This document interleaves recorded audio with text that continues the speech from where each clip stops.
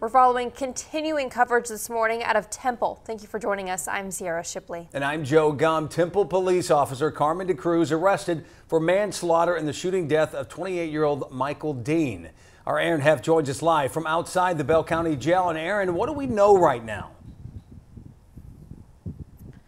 Many are so unsatisfied with the charge of manslaughter on the table right now, especially after Michael Dean was proven by reports to be unarmed at the time of his killing. Now, the affidavit obtained yesterday details the routine traffic stop by explaining Officer Carmen DeCruz walked in front of his patrol car and the suspect vehicle with his duty issued firearm drawn. But it was while reaching into Dean's vehicle in an attempt to gain control of the keys that DeCruz, quote, pulls backwards, causing the handgun to fire, striking Michael Dean in the head, end quote. Dean supporters are now incensed that the arrest was for manslaughter and not murder.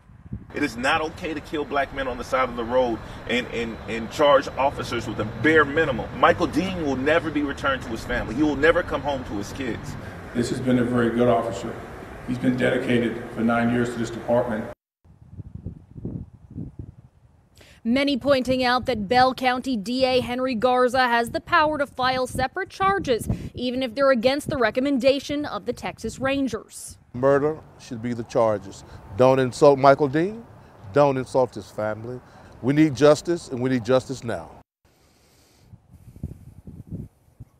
If DA Garza doesn't make any changes to the current charges, the Dean family's representation intends to have the Department of Justice step in. Now, at this time, Carmen DeCruz is at the Bell County Jail, what you're seeing behind me, on a $500,000 bond. For now, live in Bell County, Aaron Heff 25 News. Aaron, thank you. The Temple Police Department says it is still waiting for the final report from the Texas Rangers and intends to have the internal investigation complete by the end of this month.